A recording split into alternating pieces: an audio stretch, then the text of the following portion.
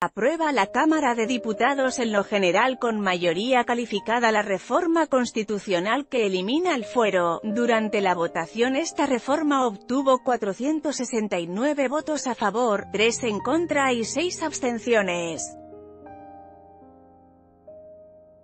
Durante la discusión en el Pleno de San Lázaro de esta minuta, las nueve bancadas de los diferentes partidos políticos en el Congreso fijaron postura en torno a esta reforma constitucional.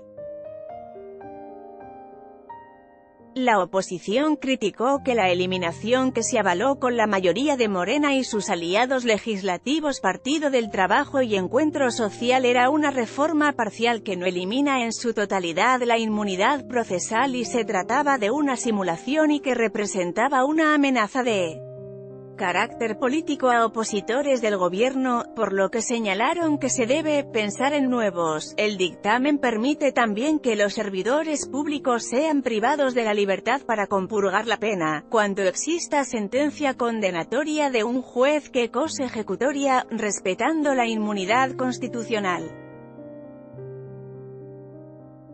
El documento que modifica los artículos 38, 61.108.111 y 112 y deroga el primer párrafo de la fracción V del artículo 74 de la Carta Magna, tiene el propósito de cambiar las reglas de la inmunidad de los altos servidores públicos. Entre los diputados que votaron en contra de la eliminación del fuero, está el legislador morenista, Julio César Ángeles Mendoza que ha estado acusado dos veces de peculado.